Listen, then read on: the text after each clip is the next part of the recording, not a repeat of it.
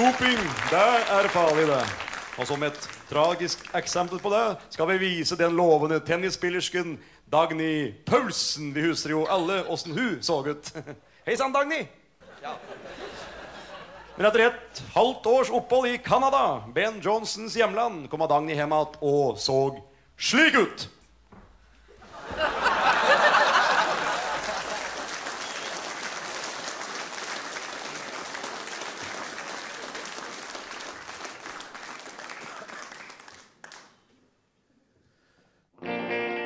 Skal jeg fortelle deg om Borghild. Den gangen hun kom opp i biloppbygger for å gjøre inn til kontorbua mi, hjelpe med å kvesse redskapen min, og alt det andre som skjedde da. Takk. Det var eh, pene ord, Arnulf. Tusen takk skal du ha, for du nevnte Borghild. Tusen takk, Arnulf. Du har betydd mye for oss gutter.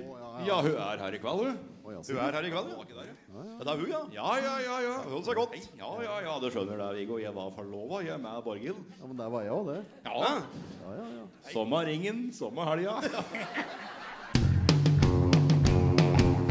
Huvudete bomull i bomullstrøya mi, huvudete sau om det foregår gryta. Hun setter bongo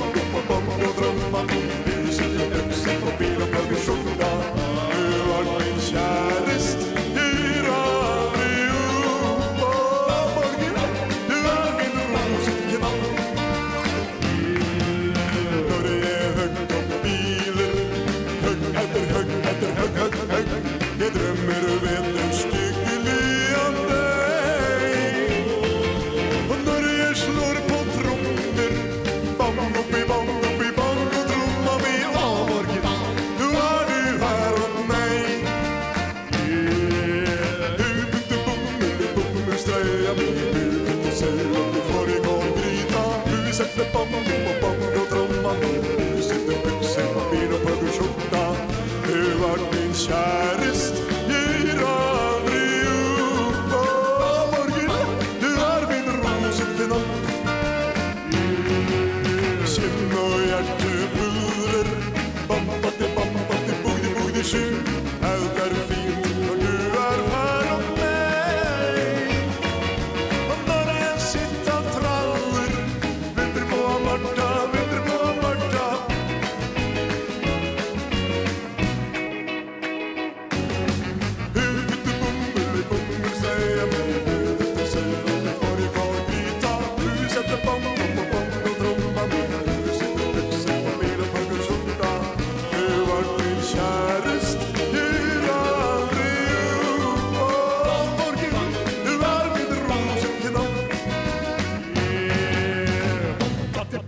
be rama lama ding dong dip dip dip dip boogity boogity zoo. Bum bap be bum rama lama ding dong dip dip dip dip boogity zoo. Ja, Borghild, du er heldig. Alt du ønsker, det skal du få. Forgasser, fordeler, dynamo, starter. Girkasse, motor, kardang, mellomaksling, støtfanger, panser, grill, vindusbussemotor, varmeapparatmotor og speedometer. Ja, Borghild. Du er heldig. Ja, det var uh, utrolig vakkert sagt, Arnulf. Det er fint å høre. Å ja, Viggo. Takk skal du ha, Arnulf.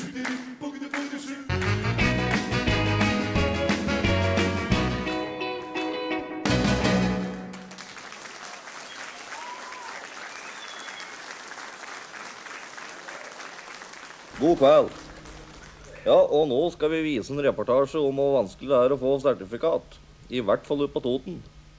Jeg tror du skal få eh, lappen, da. ja, det skal vi nok bli to om, dere. Har du hatt mange timer, du, da? 74. 74? Jaså, du er den mer glupe typen, du, altså. Ja ja, dette her går vel gærent før eller senere, tenker jeg. Det er bare å kjøre i gang, det.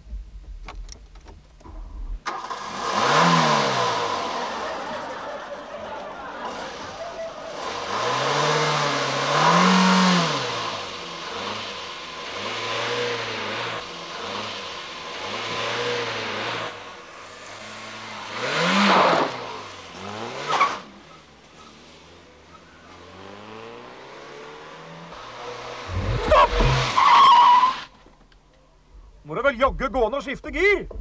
Skifte gir? Men uh, bilen er jo helt ny, jo. Ja, godt tappa. Jøss, så du svetter av, mann. Kanskje fordel å løse litt på snippen?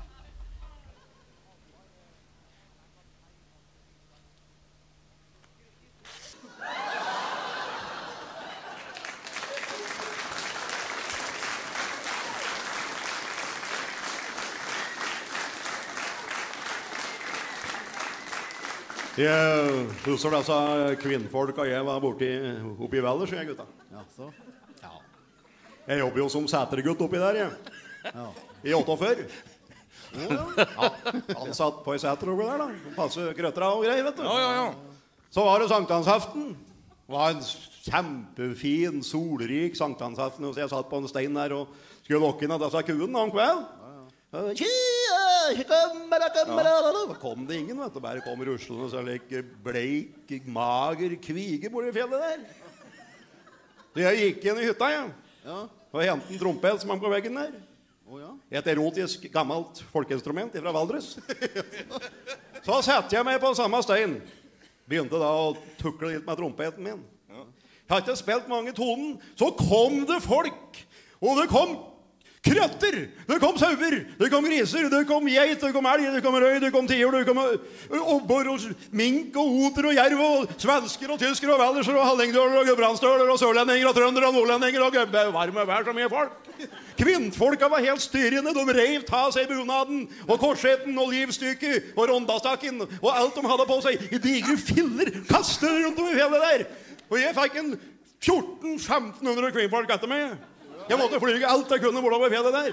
1400-1500 i- i styrende kvinnfolk. Erotisk opphisset til bristepunktet. Jo. Jeg fløy alt jeg kunne. Hadde Jeg sa kvinnfolka etter meg. Jeg sier, ja, jeg sier det var 2000, da. Og det var tre gamle kjerringer fra gamlehjemmet oppe i Heggenes. De var så erotisk opphisset at de uh, fikk igjen menstruasjonen sin. Ja, det var, så kom jo i Valdres, vet du, i Valdersen, altså i lokalavisa der, så sto det svære oppslaget. Hundøling spilte folk og dyr langt inn i fjellet, sto det. Det var eh, han som hadde hatt trompeten før meg. Han var en erotiker. En bygdeerotiker. Og hans utsvevende liv hadde tatt bolig i trompeten. Så det var slik det skjedde. Er det mulig for oss her i kveld å høre det du spilte på trompeten din i Valdres? Jeg har jo med meg trompeten her. Ja, Det er det er det jeg har Det er samme trompeten. Ja. Så jeg er veldig spent. Jeg henstiller til dere som sitter og ser på fjernsyn, og er litt dårlig gift, eller har kvinnfolk som ikke har helt oversikten over, hold dem fast, tjor dem fast i eh, parketten eller i gulvbelegget. For dette kan bli egentlig ganske sterkt, altså. Men jeg skal eh, spille et lite utdrag, så får vi se. Ja, vi får se. Ja, Hva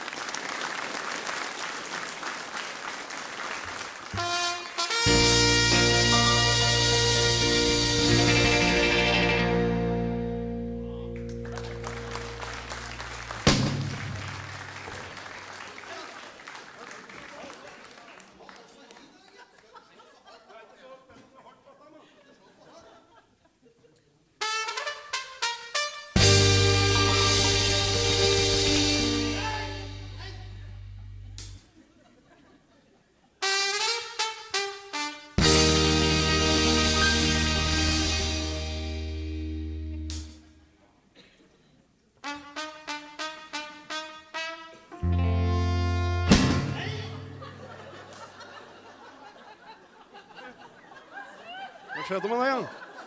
Hæ? Hva er det som skjedde? Ja. Denne hadde jeg sjekket opp, hadde jeg vært det. Ja, denne høres faretruende Vi får kjøre videoopptaket, vi.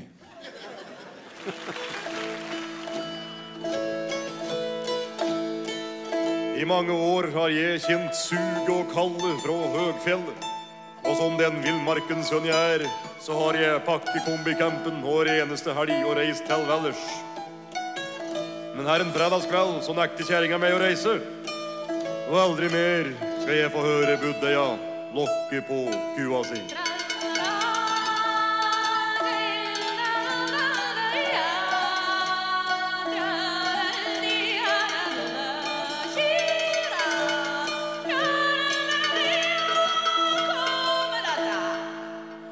Jeg skulle dra på fishing til Valles og hadde hengeren min klar. Da så jeg kjerringa i porten som en kvinnelig barbar. Hun rev opp bakdøra på ladan og røsket tak i sekken min. Og tømte innholdet i setet og skrek med kjerringkjeften sin. Fishing i Valdres.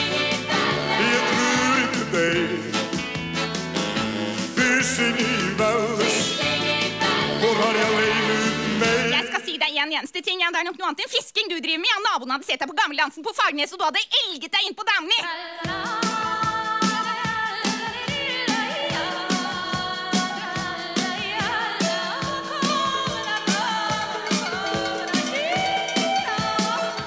Fant en leppestift på gulvet Og en ørret i jakka mi Og der var rødvin oppi sekken Og ting fra løypens brenneri Hun koblet hengeren ifra bilen min. Og knytte hardt i neven sin. Og sa I kveld må du bli hjemme. Og feire fødselsdagen din. Fysing i Valdres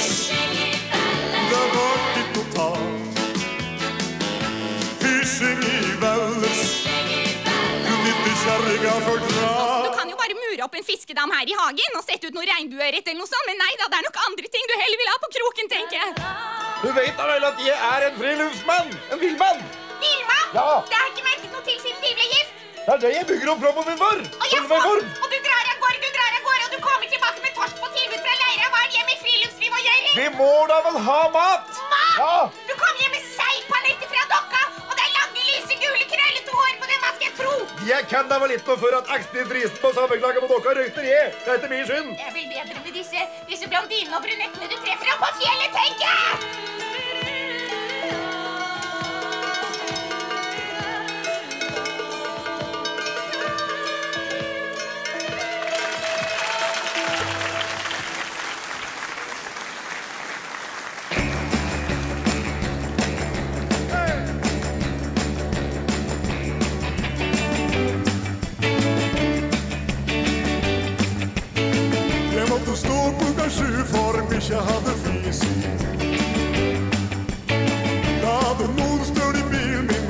Med mi inni. Og da jeg ringte på mobilsjekket hjemme hadde rest, var det en trønder som svara. Selbu er best! Her er agentetter og blender med brus. Det fins ingen kur for en sommerskveld blues.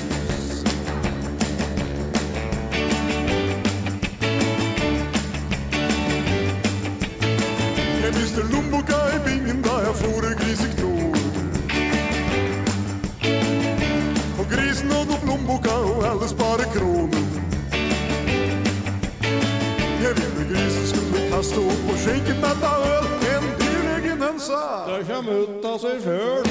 Her er akedepper og blender med en brus. Det fins ingen kur for en sommerskveld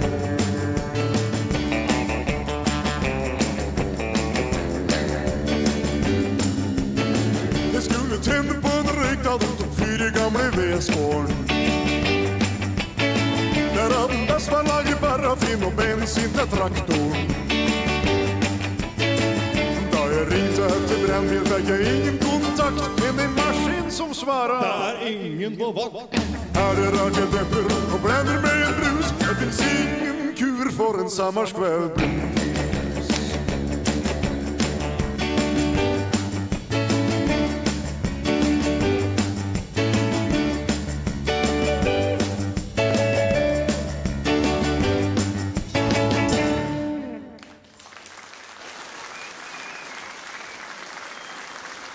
Jeg ser denne modellen her borte.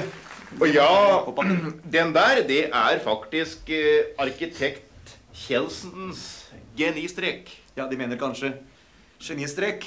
Ja, det og det også kan det være. Ikke sant, Kjelsen? Ja, altså, vi Du skjønner, vi driver på og skal bygge en heis i tilknytning til hoppbakken, slik at eh, skihopperne slipper å gå den lange veien helt opp til toppen på hoppbakken. Ja, nettopp. Eh, Interessant. kanskje arkitekt Kjelsen der kunne bidra med noe tekniske. Hopperne starter her oppe på toppen. Ja. Og så kjører de da nedover. Hopper, og så lander de her nede, da, forhåpentligvis. Og så går de da ned til heisen. Og så kan de da ta heisen helt opp igjen til toppen. Ja, det var jo veldig interessant, men eh, men hvordan skal da hopperne komme eh, fra toppen av dette heisanlegget og over til selve bakken? Hvordan uh, skihopperne skal komme i, fra heis. Kjelsen? Nei, det Nei, pokker det. Nei. Kanskje denne her figuren simpelthen bare kan snus? Sånn. I en uh, enkel håndvending. Verre er det ikke. Mine damer og herrer, Brandbuballetten. Som dere sikkert la merke til i entreen her, så hadde de allerede fått betydelig hjelp av dansepedagogen Live. Som etter å ha hjulpet disse her, dere, merkelig nok fremdeles er i live, og som vil komme hit personlig og synge live og live opp forsamlingen. Jeg vil takke livet for at du vil være med oss. Live er ikke det verste man har. Men om litt er kaffen klar. Kom igjen, Johnsen, så trykker vi litt kaffe her. Hvorfor eh, spiller de inn det mot nå, da? For jeg er imot for love. Simple because I love you.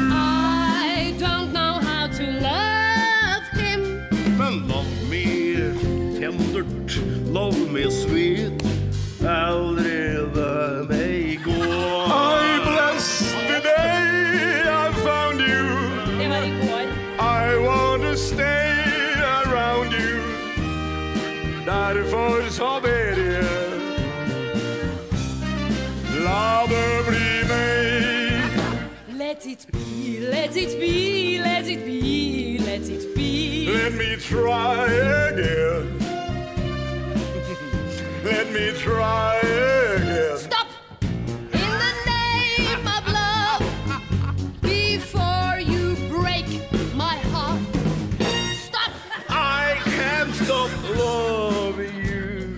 Stop! Let me try again. Stop! Let me try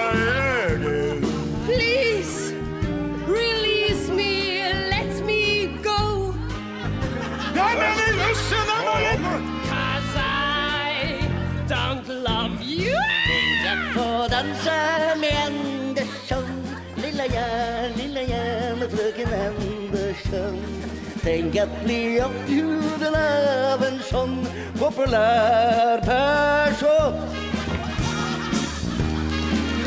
I feel pretty, that's a pity. I feel pretty, that's pity, my boy.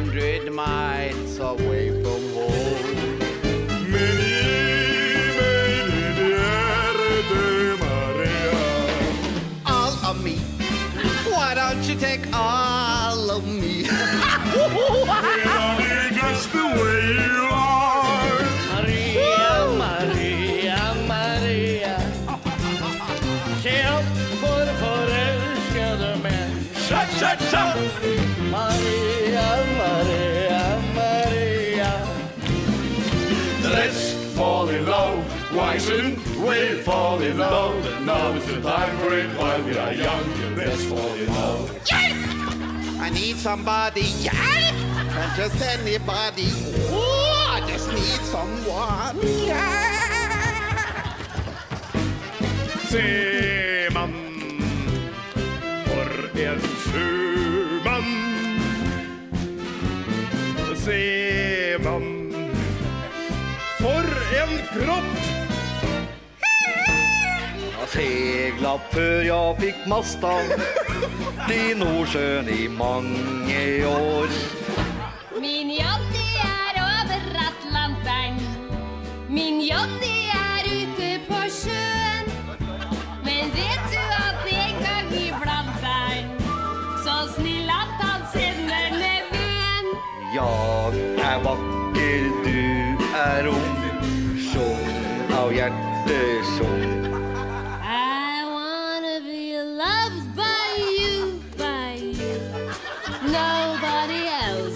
to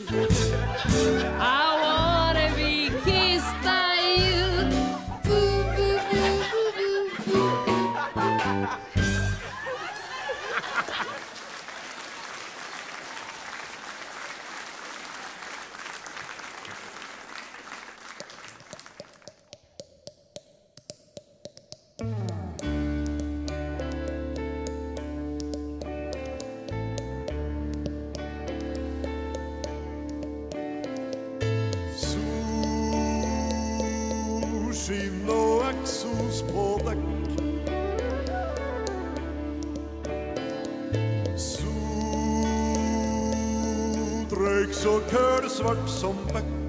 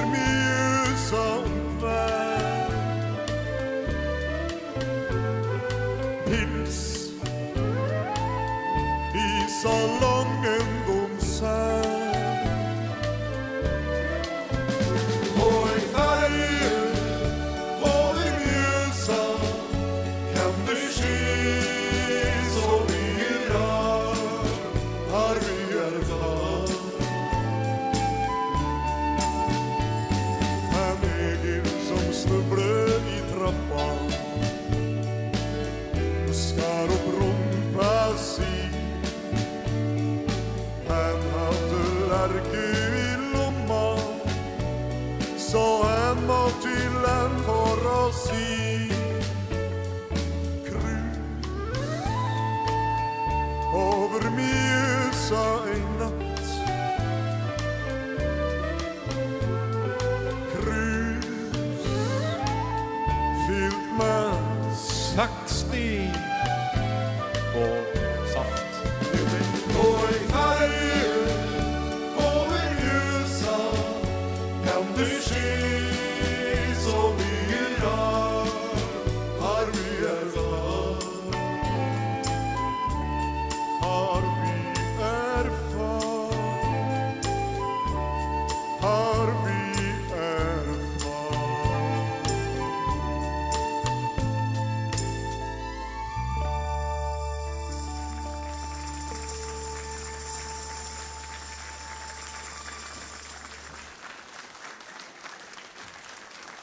Jan Einar Johnsen. det musikalske geni på tallrien. Fyre med ved. Fyre med ved. Fyre med ved. Fyre med ved. Alle vi fyrer med ved.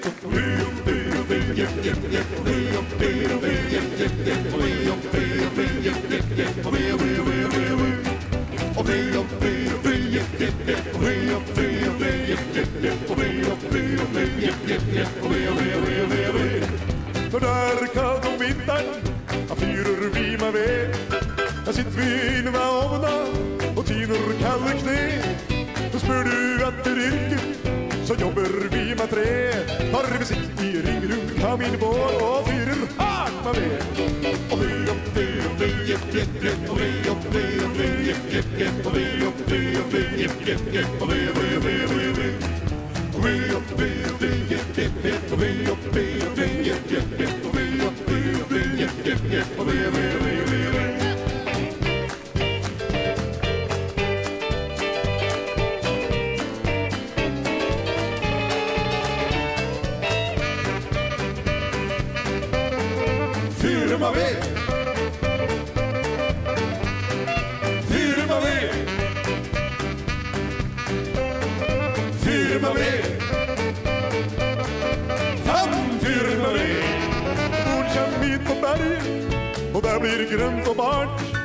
sola skinner på himmelen, så der blir det godt og varmt. Da må vi leie kappsag og gjøre allting klart. For hvis det blir kaldt om vinteren, må vi kanskje fyre her. Og vi opp, vi opp, vi opp, vi opp, og vi vil vi vil vi opp, vi opp, og vi opp, vi opp, vi opp, vi opp, og vi opp, vi opp, vi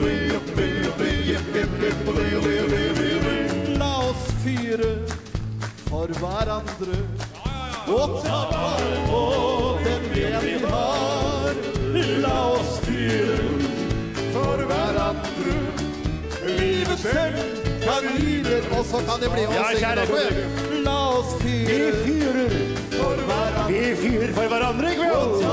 Vi tar vare på. Vi tar vare på den veden vi har. Vi tar vare på den veden vi har mens vi fyrer for hverandre, for kjære publikum. Livet selv kan gi det rette svar. Livet selv i seg selv gir det rette svar. Og vi fyrer sammen i en eneste stor familie her i kveld. Vi fyrer for hverandre. Ja, for noe? Boksa deg!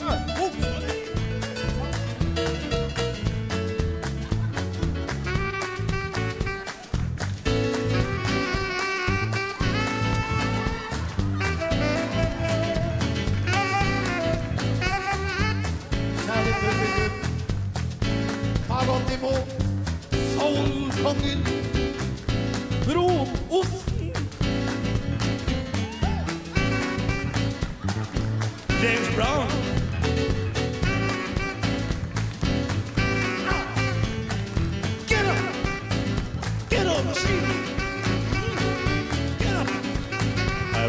Det.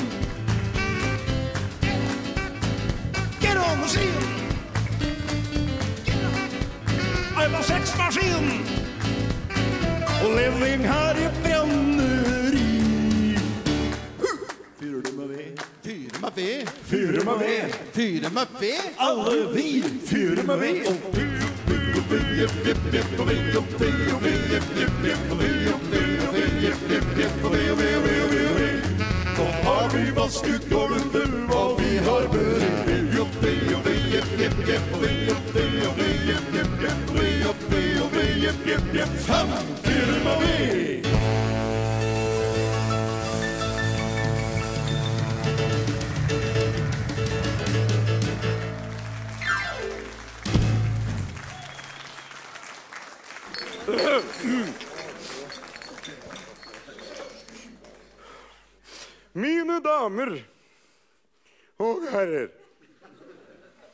Og alle venner av min datter.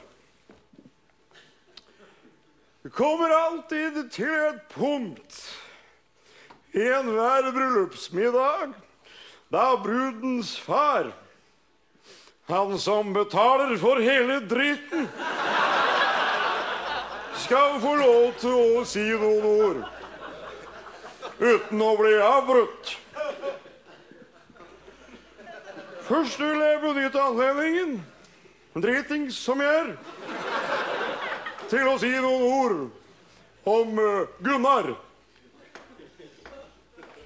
Min datter kunne ikke fått en mer passende, sjarmerende, velstående, ikke minst, herlig og trofast mann enn Gunnar som sin ektemann.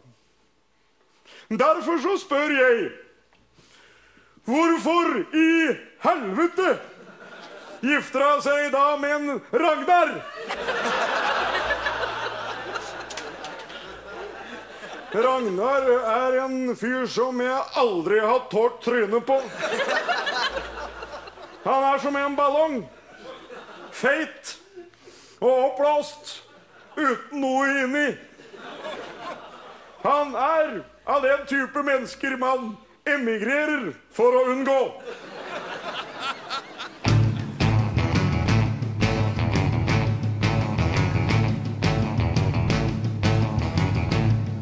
Kjære publikum. Ta imot de fra Raufoss på vei til Las Vegas. Raufoss Elvis. Raufoss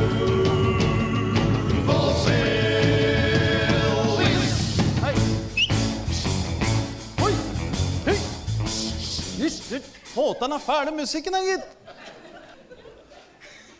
Er det noe galt? Ja, skal de spille så høyt? Så høyt. Høyt, ja. Ja, det er jo Elvis-show. Det må være litt høyt, da. Skal du få litt uh, liv i publikum her? Jo, jo, jo. Ja. Kan ikke ta noe annet? Elvis. Ja, en annen. Han bør det ikke Love, da. Du.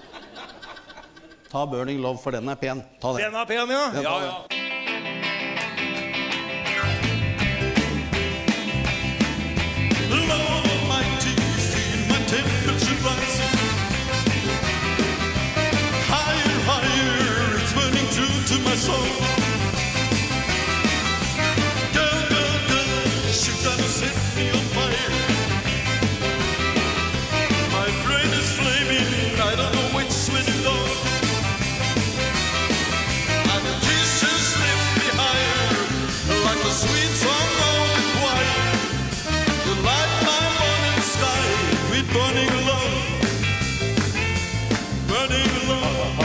It's a hot, hot, burning love. It's a hot, hot, burning love. It's a hot, hot, burning love. It's a hot,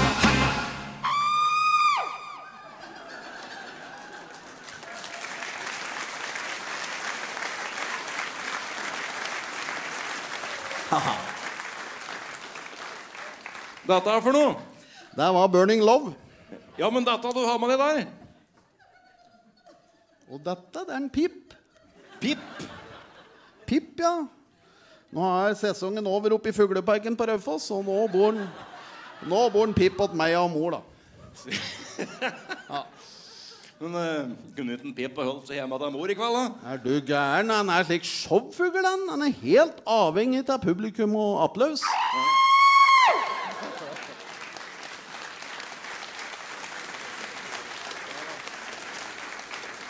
jo, gitt. Han er til og med slik amerikansk showfugl. Han er det, ja. Yes. Hva slags eh, amerikansk show er det en Pip driver og kjører på Raufoss? Du, han Pip, han driver og hopper. Hva Sier du det? Han har slik hoppeshow, sånn trappegjesshow. Oh, ja. Han driver og hopper fra ene armen til den andre. Gjør han det? Ja, ha, ha, ha.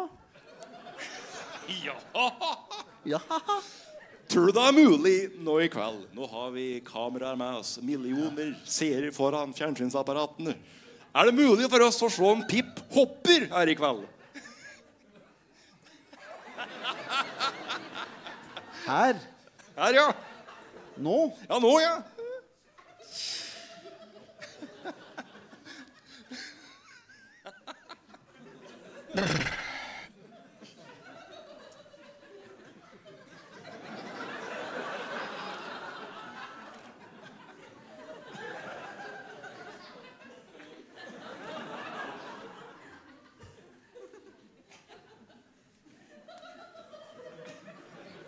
Skal du hoppe? Skal du hoppe, Pip? Litt. Ørlitt. Nei, men du kan da Oi, Nei, nå Dreit den på det, nå? Den blir litt løs når det er vart. Det er mye lys her, vet du. Det er mye lys, ja. Den er løs nå, altså. Høyttaler og Det må jo være tøft for en Pip da, å bo sammen med en Raufoss-Elvis. Som kjører så mye show med så mye lys og musikk og greier. Og... Ja. Det må være tøft. Du som er så lik en Elvis. Og... Syns du det? Ja. Ja, takk skal du ha. Ja, ja. Men jeg, jeg er lik mange andre, jeg. Er du det? Ja, ha, ha, ha, ha. Ja, ok da. Ja, skimmerivers. Skimmerivers. Skimmi, skimmerivers. Trim Reeves. Trim Reeves. Å ja, Jim Reeves, ja. Ja, ja, ja, ja. Jeg sier skimmerivers. Ja. Når jeg synger sanger til han, da blir en pip helt rolig. Ja, ja, ja. Put your sweet lips a little closer to the phone. Let's pretend that we're together all alone. And tell the man to turn the jukebox way down. Nei da! Nei, sa jeg. Ti stille! det du og ødelegger for en far, da? Idiot. Kanskje vi skal ta ei Elvis-låt? Da kan du gi det på topp. vet du.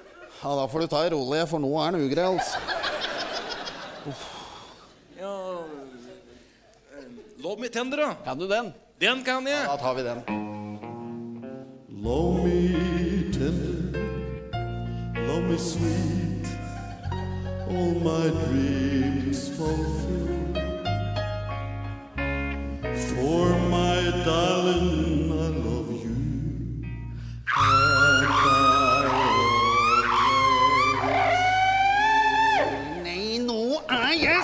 jeg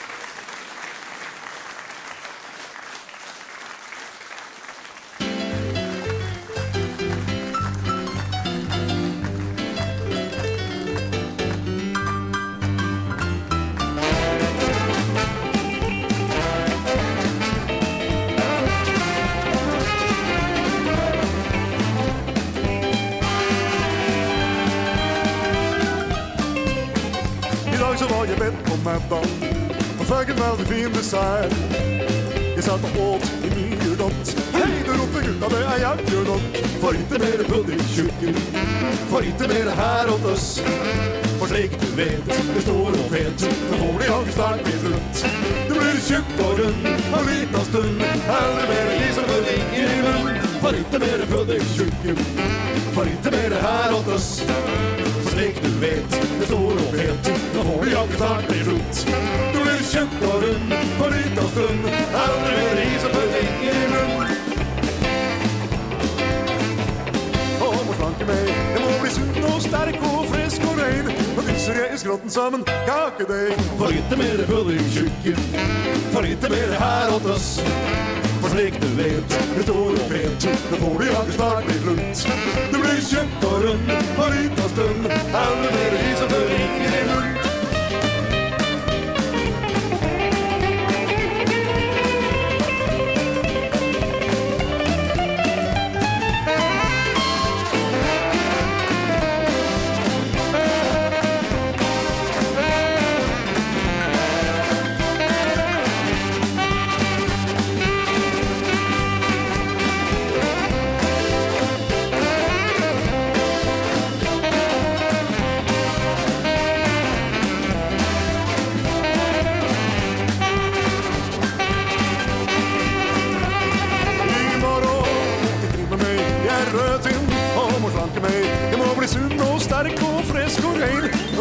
I skrotten sammen kakedeig. For ikke mer bullertjukken, for ikke mer her åt oss.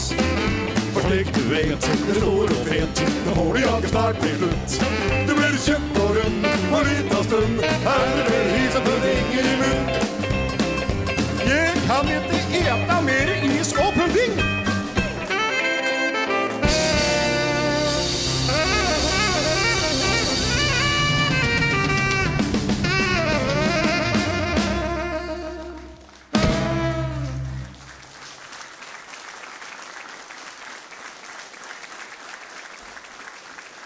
Har fått besøk her i studio til en av de freskeste gutta. Hjertelig velkommen hit. Du kan vel kanskje ta og presentere deg sjøl? Kurt Kortner. Rett ifra skisportens vugge. Ja, jeg kan jo se det. Men eh, nå har jo du tatt mål av deg til virkelig å knuse hele verdenseliten i alpint under olympiaden på Lillehammer. Kan du røpe litt grann av treningsopplegget ditt? Ja, jeg har jo først og fremst tatt uh, lærdom til naboen min, da. Det nye alpinfantomet Ole Christian Furuseth fra Jessheim. Vet du, Har du vært på Jessheim, forresten? En gang. Ja. Du vet, På Jessheim er det helt flatt som en pizza. vet du. Det er nemlig der litt av hemmeligheten ligger. Nemlig å trene på flatmark.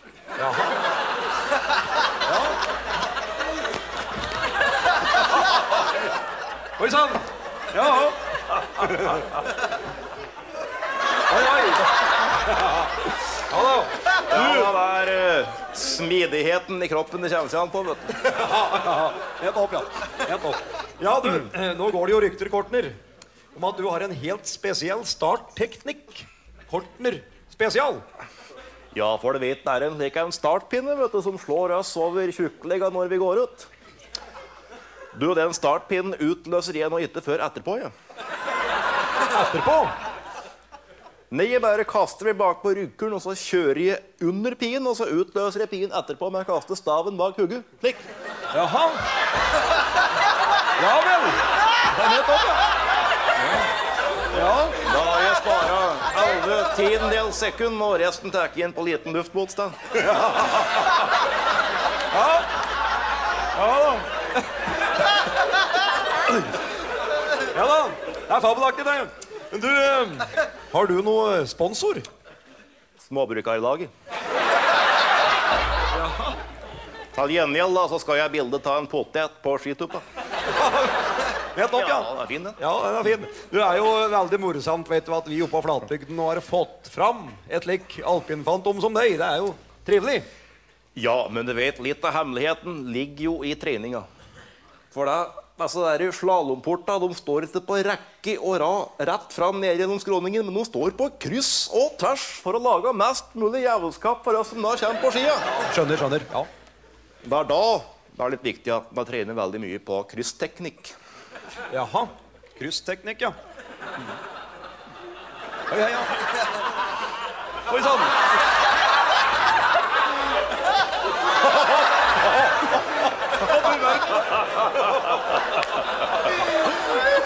hvis jeg da skulle være uheldig og dette, da, så er jeg veldig kort vei ned. Og da har jeg trent veldig mye på situps. Ja.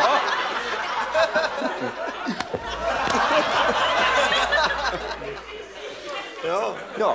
ja, vi skjønner jo nå at du praktisk talt eh, har OL-gullet på Lillehammer i lomma. Men det er én ting jeg lurer på. Et litt sånn pikkende spørsmål på slutten her. Ja. Er du eh, troende? Ja, jeg har troendes litt av hvert, jeg. Altså, ja.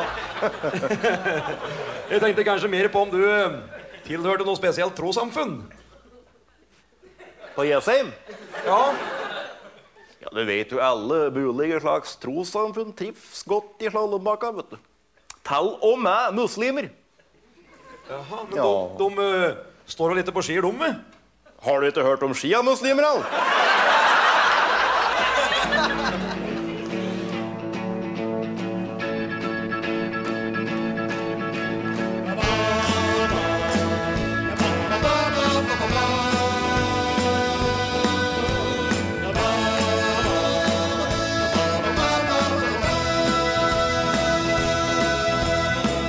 Sitt ved vinduet i lenestol Ser utover Einafjorden Og håper isen snart går.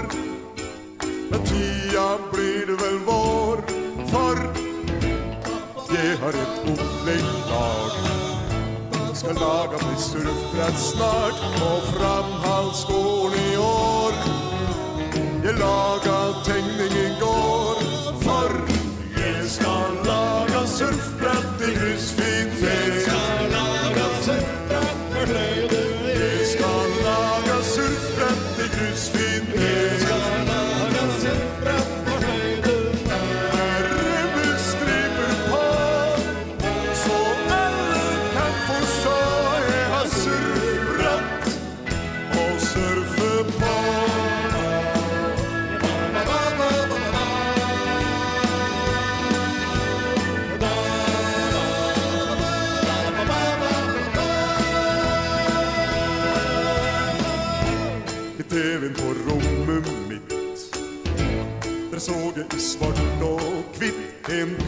som surfer så flott Så jeg bestemte meg brått At jeg skal surfe på av Og jeg blir ferdig på framhavsskolen Elvår når vattnet blir vart Jeg har jeg brettet mitt klart. For jeg skal lage surfbrett i grustid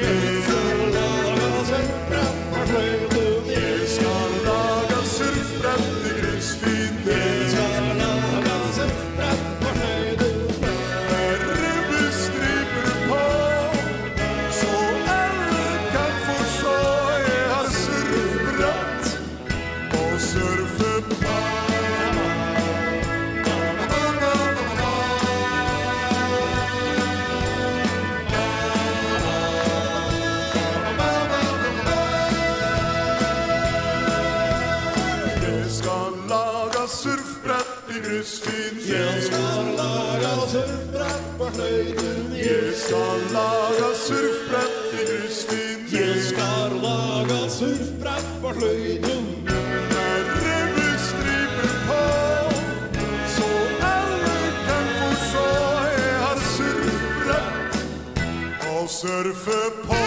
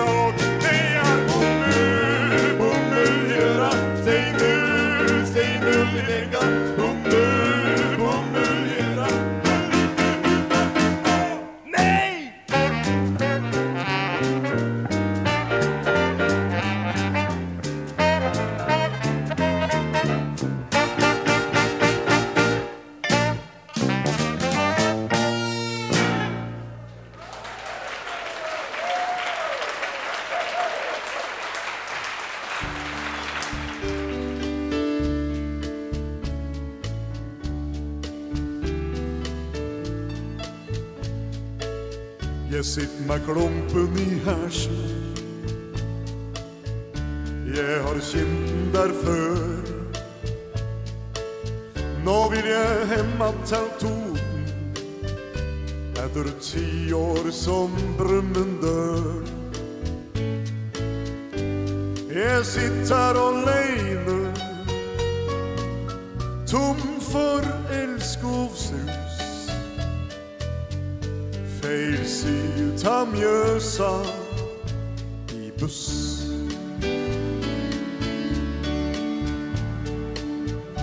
Jeg var gift med dame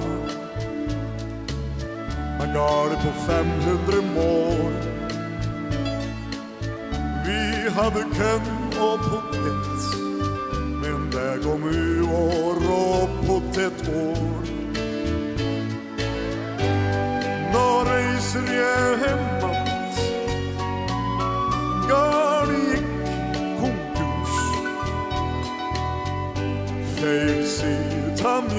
I buss